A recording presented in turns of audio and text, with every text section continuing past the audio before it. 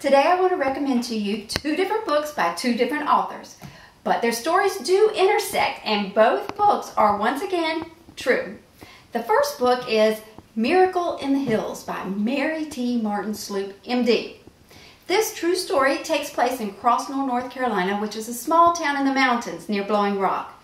In 1909, Dr. Sloop and her husband, who was also a doctor, were newly married and they moved into a primitive community of people in the North Carolina mountains.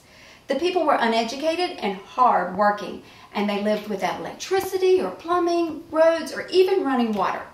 And they would marry their children off in their early teens, and the whole cycle would start all over again. Dr. and Dr. Sloop loved these people and worked almost nonstop to improve their lives.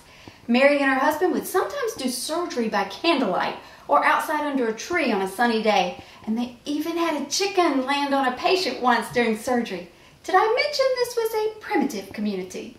The stories Mary writes about in this book are hilarious, but I particularly was inspired by how her love for these people brought out so much creativity and resourcefulness. She and her husband would overcome each and every challenge with complete joy and faith. Mary started Crossnore School for the children, and it is still changing the lives of children to this day. This couple could have been a wealthy power couple by the world standards. Instead, they chose to be a wealthy power couple by God's standards, and they are still blessing others even though now they have both moved to heaven. Now, my second book is The Suitcases by Anne Hall Whitt.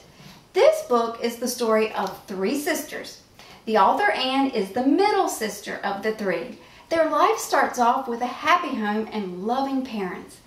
That all changes when their mother dies, and their father is struggling to put one foot in front of the other, much less properly care for his daughters.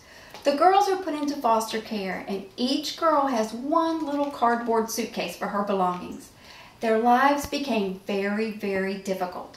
Now, I don't want to tell you too much, but let's just say Crossnore School is one of the things that made a big difference in Anne's life. I really loved getting to fast forward to and revisit Crossnore to see how it had grown over the decades. Mary Sloop was still there, lovingly serving and spry as ever. So that is my worthy book journey for you this time.